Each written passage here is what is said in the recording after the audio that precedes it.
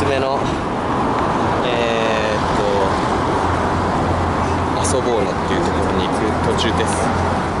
スントの時計が壊れたんでついでに直しに来ました。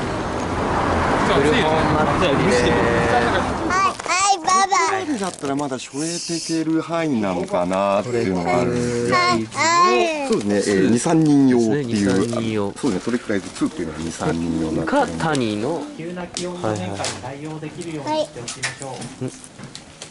また、ああなるほど。あであとは吊るすだけ。そうですね、潰すだけ。すごいななんですけど、ここええをはめ込んでいただいて、はいはいそうすはると本体とフフライもつかないようになるんで、ちょっとここの工夫がいるんですけど、後ろを止めちゃって、いうんうんうんうん。2箇所。あえっと、前もあるんです。あこの四箇所。後ろだけまず固定しちゃって、えであとはフックでかけるだけなんですけれども最初にここの内側を止めとかないとっていうのがあるんで。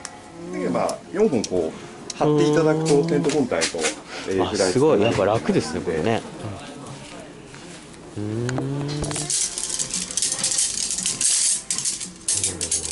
2本ポールええええ。ええ。キュッキュッキュッキュ通すんですかね。そうですね、その中にゴムコードがついてますんで、例えばあと G ライトもそうなんですけど確実にポール組んだ時に、えちゃんとこれ根元までええ入ってるかどうかなんですけど、ええ。意外にこうちゃんと入ってなくして立ち起こしちゃうと大抵末端が折れちゃうんですよね、えなるほど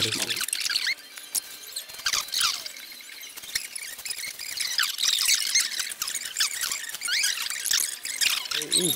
あとはバックルでもはめちゃうこの状態で。一番理想なのってテント本体の方にも4つまず打って、で今度針綱が出てるんでそこで4本で8本、えーで前室と横、えーあとこちら側にもあるんでここで12本。だから行こうよ。ここうん、ここ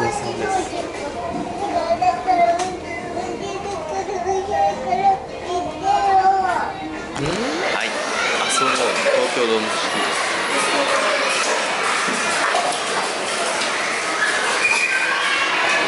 日曜日はすごい人。もうちょっと。あら。えっと。これもですね。とても綺麗なメガネです。みくりはなんだかんだ言って一番好きなメガネですね。かっこいいんですよね本当に。やっぱり綺麗な生地です。やっぱり綺麗な生地ですしこのアシンメトリーがとってもかっこいいです。まあちょっとなかなかね普通の方はお仕事とかだとあまりかけられないかもしれないんですけどね。アシンメトリーブラックとレッドのミクリでした。こんな感じです。